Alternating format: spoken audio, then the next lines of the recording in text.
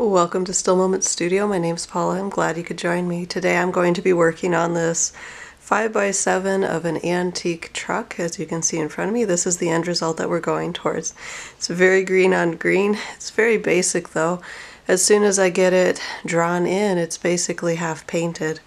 I did do an underlayer of yellow to highlight where the sun hits uh, and also blue in the shadowing and I'm very thankful that I did do that because you can see it under the screen it creates a depth and uh, just this really neat dimensionality where if I had only painted green with white as the highlight um, it would have been so much less alive and vibrant as you can see before me.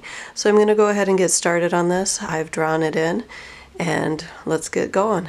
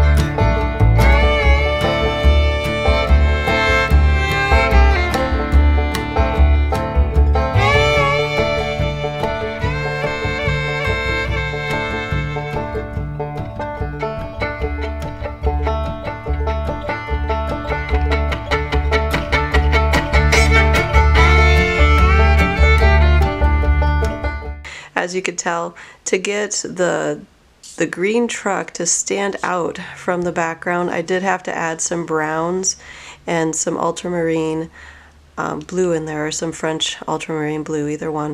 Um, I think it turned out great to leave this white in the front because then it creates kind of a, a movement in toward the grill. And then to create also depth in there as well. So I did kind of continue to deepen that even though there was a risk that it would be green against green and just really like what did you just do? So I did take a risk and I pushed that a little bit into the brown tones. So I'm kind of accentuating that the grass is a little dead and I can see the dirt in there instead of bright green grass because that would match the truck. In the background I left it light again because that is also problematic because then it's green and green. And I could have had a camouflage truck, you know, just kind of blending in here, but I was hoping to make it kind of unique and to really kind of keep your eye in towards this truck, which is the focus. So this was a lot of fun. I hope you've enjoyed joining me today, and we'll catch you next time. Don't forget to hit the like button and subscribe.